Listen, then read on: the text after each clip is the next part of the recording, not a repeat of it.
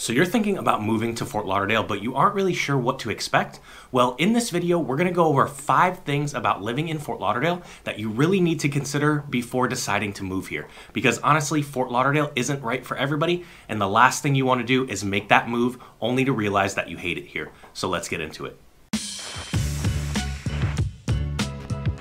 What's up everyone, it's Tanner back at you with another video and if this is your first time to the channel and you want to know everything there is to know about living here in sunny South Florida, go ahead and hit that subscribe button and tap the little bell so you get notified every time I do a new video.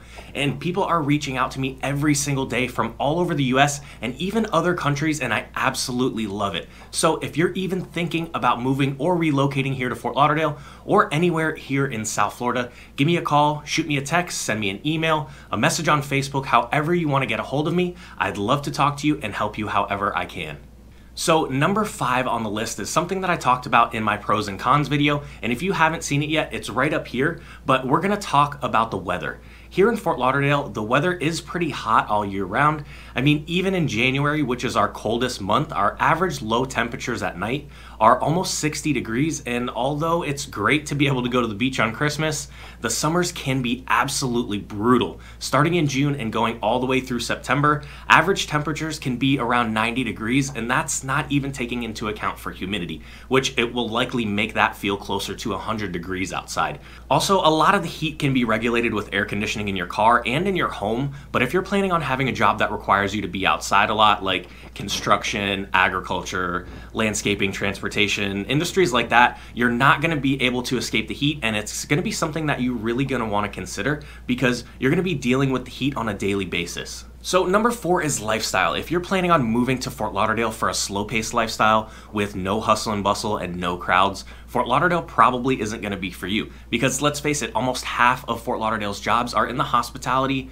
tourism, retail, and food service industries and it's probably no surprise that Florida is the number one visited state in the US. Last year alone, over 133 million visitors came to Florida, and although it is a lot less crowded than South Beach and Miami, Fort Lauderdale always has something going on. From spring break to concerts to sporting events, there's never a dull moment here. But if you're looking for a little bit of a quieter, slow paced vibe, there are a lot of neighboring cities just outside of Fort Lauderdale that offer that. So check out this video up here and learn a little bit about those cities. Moving on to number three, and this kind of goes hand in hand with tourism because we do get so many visitors down here, and that's the traffic. Man, if you aren't used to the traffic down here, it's probably gonna be a bit overwhelming and even scary to deal with the first few times. And actually, AutoWise.com even ranked Florida the official home of the horrible driver. And I contribute it to a combination of so many different types of driving styles because a lot of people are transplants from other states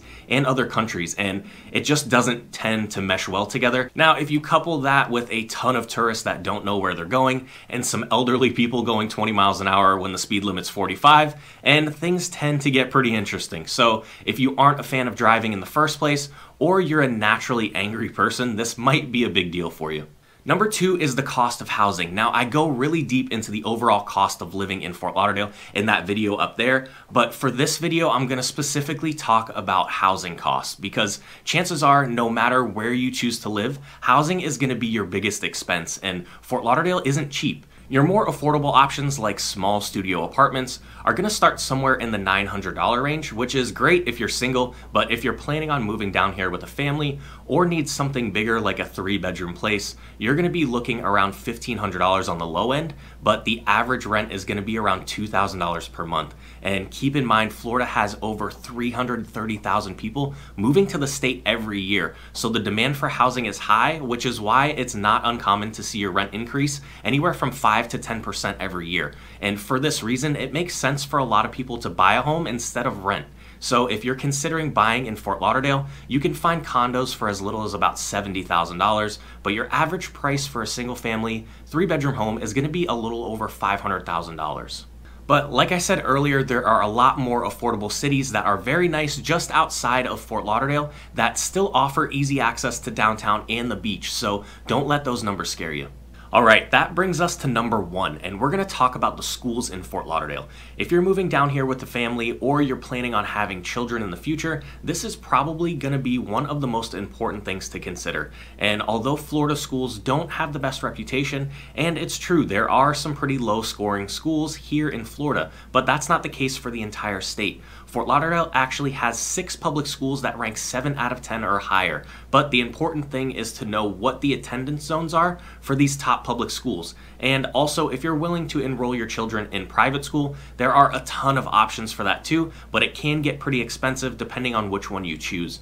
So if you're thinking about moving or relocating here to South Florida and you have any questions about the schools or anything else that I mentioned in this video, I'd love to talk to you in depth and answer any questions that you have. So give me a call, shoot me a text, send me an email, a message on Facebook, however you want to get a hold of me, because I got your back when moving to Fort Lauderdale.